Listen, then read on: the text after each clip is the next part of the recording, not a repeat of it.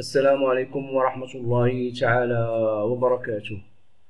همزة الوصل والقطع الإملاء الوحدة الأولى الأسبوع الأول أي الحصة الأولى والحصة الثانية.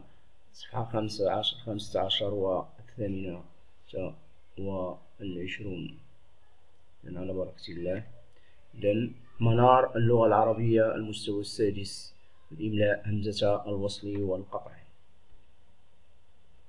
من هذه الصفحة ثم الحصة الثانية في الأسبوع الموالي على بركة الله. إذا أقرأ النص وأكمل ما الأجل بالكلمات التي تتضمن همزة. إذا استمر احتكاك المغاربة احتكاك المغاربة والأندلسيين وتواصلهم قرونا عن طريق فلاسفة وأطباء أفداد. وقد كان لحركة الهجرة أثر فعال في حياة المغرب إذا الكلمات استمر أفداد احتكاك. نعم كتابة الهمزة كسرة تحت الألف هذه تسمى همزة وصل. أما همزة القطع فهي دائما تكتب هكذا هكذا كألاحظ يعني تكتب هكذا. هذه الهمزة عندما أرى هذه الهمزة سواء فوق الألف أو على الواو أو على الياء فهي همزة قطع. فهي همزة قطع مثل هذه تسمى همزة قطع.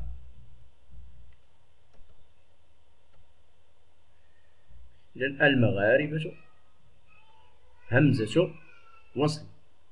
لأن في النص في النص لأن نعود إلى النص انظر هنا النص فجاءت هكذا.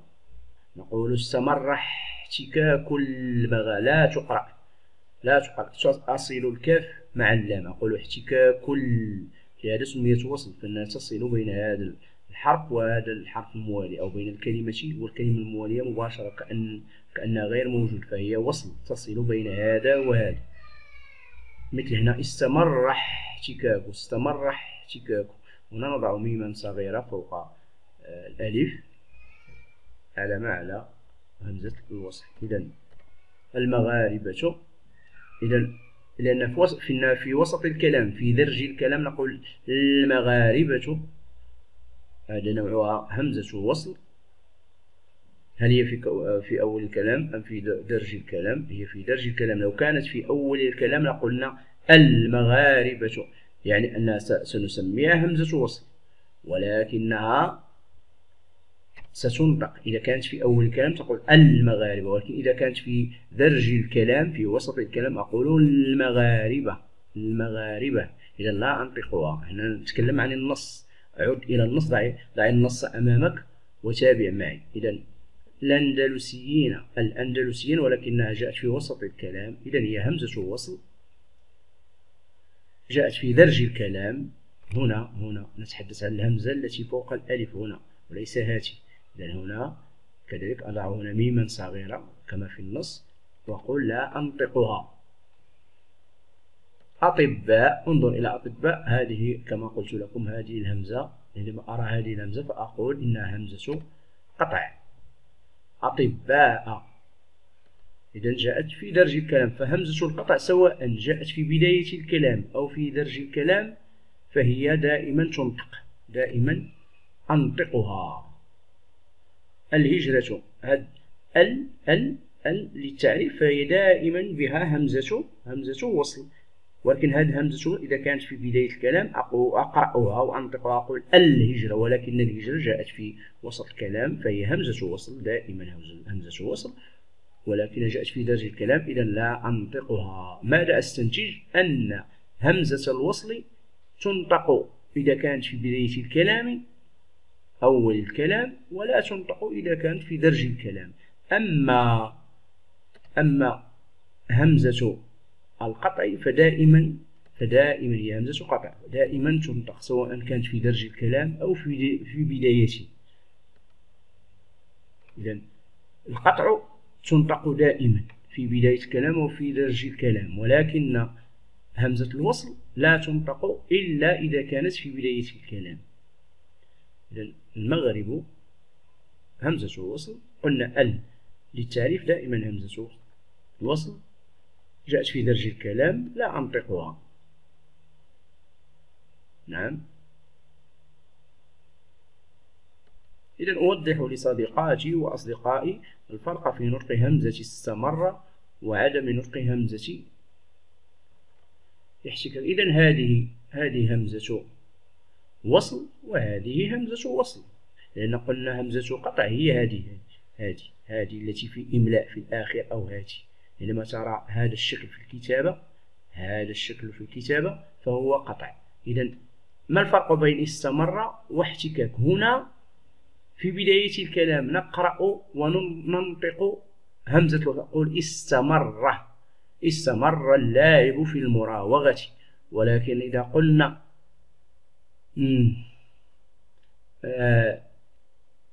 مرر اللاعب الكرة واستمر أنا سنضع مثل احتكاك أضع هنا. ولكن في بداية الكلام أضع هكذا كسرة تحت استمر لأنه فعل فعل سداسي استمر. واحتكاك احتك كذلك مصدر من فعل خماسي احتكاك. إذا هنا لا ننطقها لأنها في ليست في بداية الكلام بل في درج الكلام. وحد موقعهما في الجملة وأبين كيفية كتابتهما. إذا تكلمنا هذا هذا فقط شرح هذه بداية الكلام. تكتب هكذا كسرة تحت الألف. وهنا في وسط موقعها وسط الكلام في درج الكلام. وأضع ميما صغيرة فوق الألف. كذلك هنا أفداد. أفداد ما هذه؟ ماذا نسمي هذه؟ هذه نسميها همزة قطع. فهمزة القطع دائما تنطق في بداية الكلام في وسط الكلام لا يهمنا فهي دائما تنطق. هنا قلنا في بداية الكلام تنطق وفي وسط الكلام ودرجه لا تنطق. فقط. هذا ما يجب عليك أن تعرفه والإجابة تكون من هذا من من من الاستنتاج. هذا هذا التمرين جوابه هنا. تنطق همزة الوصل في أول كلمة في الجملة وتكتب هكذا. مثلا أستمر. لا عفوا عفوا لا لا. آه، استخرج استنتج هنا عندنا استنتج هنا استنتج في آه، استنتج هنا همزة همزة قطع بطبيعة الحال. هنا مثلا آه، عندما يقول لك الأستاذ أكتب. أكتب فنكتبها مثل هذه. هذه. هنا كذلك مثلا استمر استنتج. آه هذه تكون في مثلا الشمسية القمرية للتعريف في بداية الكلام نضع هكذا. آه تكتب همزة الوصف في درجة الجملة هكذا. نعم ولا تنطق. مثل ما رأينا في احتكاك. احتكاك. تكتب همزة القطع في أول الكلمة. هكذا وهكذا. وهذه في مثلا في آخذ آخذ أنا آخذ. هكذا تكتب وتنطق دائما. دائما قلنا القطع تنطق سواء وسط الكلام في درج الكلام أو في أول الكلام. نعم. أرسم همزة الوصل أو همزة القطع المناسب فيما يلي إذا أصدقائي حتى لا نطيل نمر بسرعة أصدقائي تكتب هكذا همزة قطع وأضع فتحة على الألف. أصدقائي طلبة طلبة ال هنا ال اللي هنا نضع ميما فوق الميم هنا صغيرة. على شكل ميم. نقول طلبة طلبة لا تنطق لا تنطق. الأستاذة هنا كذلك. أضع ضمة فوق هذه. هذه همزة قطع. عندما أرى هذا هذه الهمزة أقول قطع. أستاذة مني أن. هذا الحرف حروف تكون فيها همزة قطع دائما. أن. أن. وأن إلى. إذا أن أرسل. أتني هنا همزة قطع. أضع ضمة فوق أرسل. إليكم. إليكم. كسرة تحت هذه الهمزة. بواسطة البريد. أنا قرأتها حتى ترى عما سنقول. لا نقرأ نقول بواسطة ال. بواسطة بواسطة لا لا ننطقها. أضع ميما هنا فوقها لأن ليست في بداية الكلام. البريد هنا كذلك لا تنطق. أضع ميما صغيرة فوق الألف. إلكتروني إلكتروني هنا.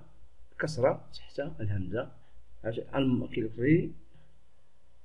الإلكتروني ال ال ولكن لا ننطقها. الإلكتروني هنا لا ننطقها كأنها غير موجودة. نقول إلكتروني الموضوعة هنا كذلك أضع لا أنطق هذه لا أنطقها. دائما ال لا تنطق في وسط الكلام تنطق فقط اللام الساكنة مباشرة نمر إلى اللام الساكنة ونتجاوز الألف آه، أو الهمزة عفوا. إذا الآتي هنا الآتي الموضوع الآتي ننطقها وتكتب هكذا. اكتب هنا هنا لأنه أمر من الفعل الثلاثي. لا أضع الهمزة بل فقط ضمة هنا ضمة أقول اكتب أو عفوا عفوا. هنا ليس أمر. لأن أكتب. لا عفوا. هنا خطأ. أضع الهمزة أضع همزة. هنا قطع. قرأتها أكتب. بل هي أكتب. إذا هنا همزة وفتحة. همزة فوقها فتحة أقول أكتب موضوعا في ال... كذلك هنا ميما فوق هذه. في الحضارات لا أنطقها. هذه موصولة. ميما هنا عرفتها. أرض. هنا أنطقها لأنها همزة قطع. أرض المغرب. كذلك أكتبها ولا أنطقها. ميما فوق هذه. إذا أميز همزة الوصل من همزة القطع فيما يلي انظروا هنا مثلا هذه قطع هذه وصل. هذه وصل. هذه قطع إذا اختار المدرس انظروا أقول اختار. فهي همزة وصل لأنه من فعل إخ اختار. خماسي. عندما يكون خماسيا أو سداسيا لا أضع همزة قطع بل وصل. انظر هنا مثل استمر سداسي هذا خماسي وكذلك أكتب كسرة تحت الألف وأنطقها إي وأنطق الهمزة. أقول اختار رغم أنها وصف أنا أنطقها لأنها في بداية وأول الكلام. اختار ال اختار ال وصف لا أنطقها. المدرسون أ هنا قطع أنطقها. هذه قطع. إذا وصل وصل قطع وصل تلاميذ وصل اجتهاد وصل. يشارك في مسابقة تحدي الوصل قراءة العربي وصل. إذا عندنا قطع مرة واحدة أكثر أكثر هي القطعة الوحيدة الموجودة في هذا المثال أميز بين همزة الوصل وهمزة القطع فيما يأتي. هنا لا ليس يعني شفويا انتبه إذا هنا كذلك هذه وصل. عندما لا أرى هذه الهمزة هذه الهمزة عندما لا أراها فأقول وصل. إذا رأيتها أقول قطع. إذا هنا وصل اختار هنا قطع. أعضاء هذه وصل. مقرر موصل. قطع. في أثناء وصل آه عفوا قطع لأن انظر إلى الهمزة. كذلك هنا وصل. إذا وصل قطع وصل وصل قطع وصل. وأغرب هنا قطع وصل أغرب الغرائب هنا. وصل بلاد الصين. وصل قدرة أهلها قطع على نسخ صور وصل الآدمية وصل مع هذه قطع. هذه. آ هذه قطع. صور الآ هذه قطع. ثم أو. هنا قطع. هذه وصل. هذه قطع. أوي قطع وهذه وصل. أضبط بالشكل التام همزة الوصل وهمزة القطع فيما يأتي. هنا اقترب. هنا سأضع كسرة هنا.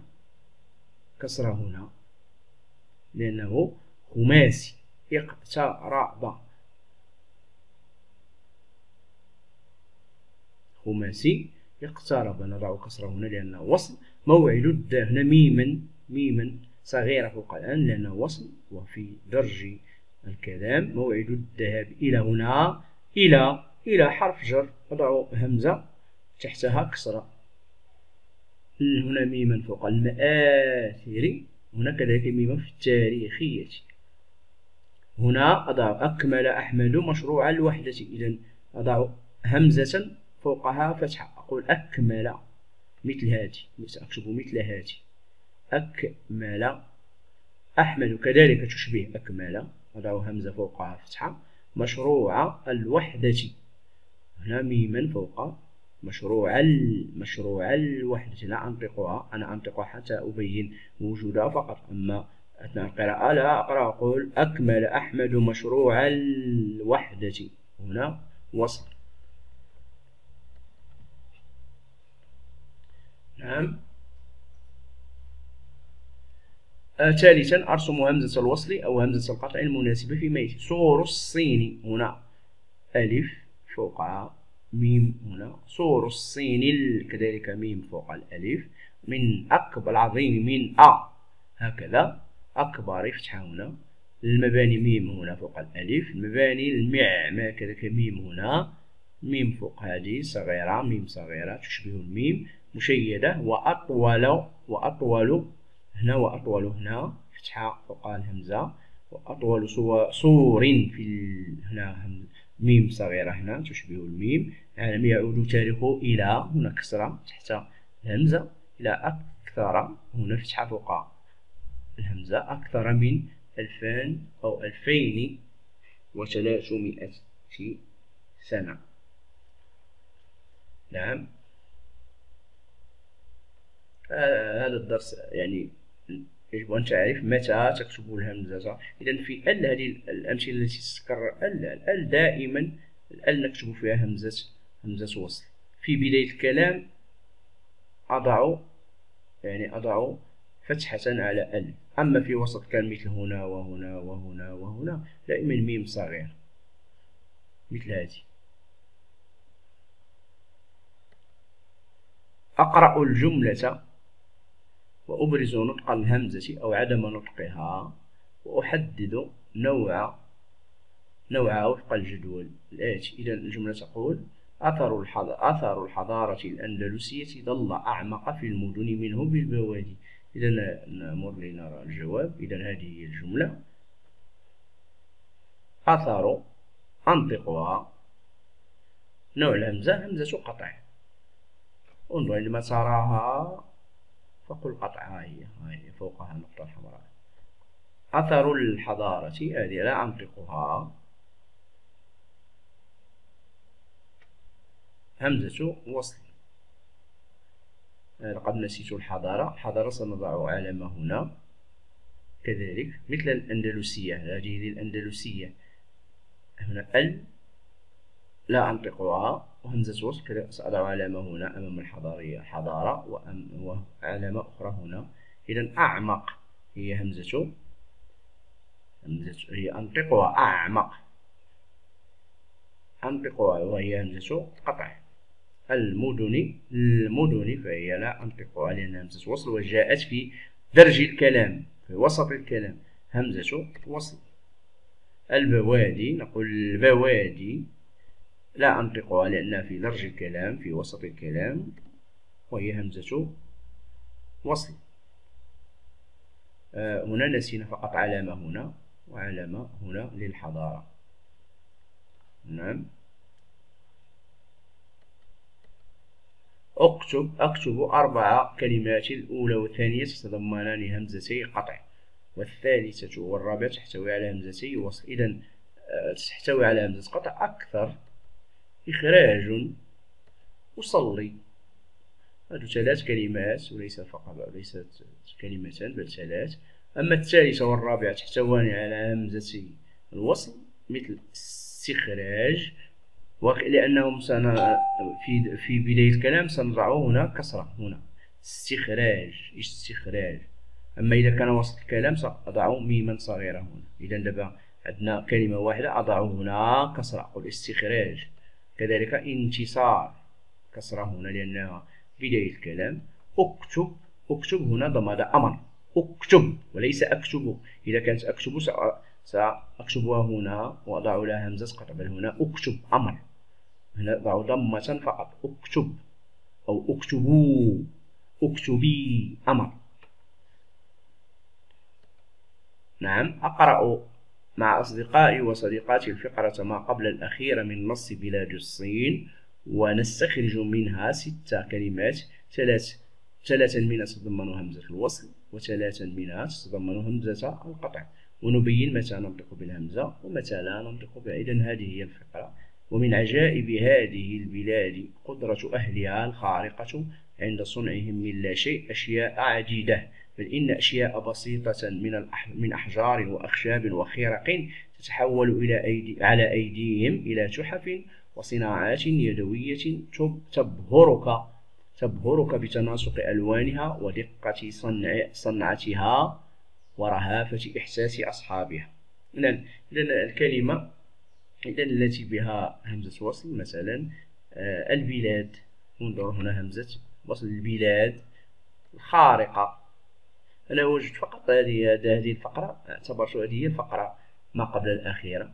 في النص وجدت فقط كلمتين كلمتين. أما الآن إلى آه، همزة القطع هي أهلها أهلها أشياء. إن أشياء. هذه هذه الهمزة التي آه، أحطتها باللون الأزرق هي همزة قطع. دائما تنطق.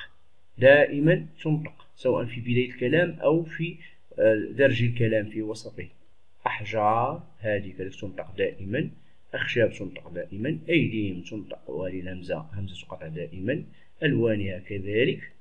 إحساس تنطق دائما. أصحابها تنطق دائما. أما الهمزتان السابقتان البلاد الخارقة لا تنطق في هذه الحالة. لماذا؟ جاءت في وسط الكلام. لو أن البلاد كتبت هنا لقلنا البلاد. ولكنها في وسط الكلام نقول من عجائب عجائب هذه هذه البلاد وأهلها الخار. لا ننطقها هنا لأنها همزة وصل أنشئ جملتين ترتبطين عفوا أنشئ جملتين ترتبطان بمجال الحضارة الصينية تتضمن كل واحدة منهما همزة وصل وهمزة قطع إذا الجملة الأولى إن هي همزة قطع همزة وصل همزة وصل وهمزة قطع في إي إسلامية وهمزة قطع ثم همزة وصل إن الحضارة الإسلامية إن الحضارة إن الحضارة الإسلامية من أعظم الحضارات. إن الحضارة الإسلامية من أعظم الحضارات. الجملة الثانية يجب على الإنسان يجب على الإنسان هنا همزة وصل وهذه همزة قطع. يجب على الإنسان أن همزة قطع يعتز هنا همزة وصل بالثقافة والتقاليد همزة وصل تقاليد الوطنية هنا همزة وصل. والسلام عليكم ورحمة الله تعالى وبركاته. أنا أحاول أن أسرع حتى لا أطيل عليكم.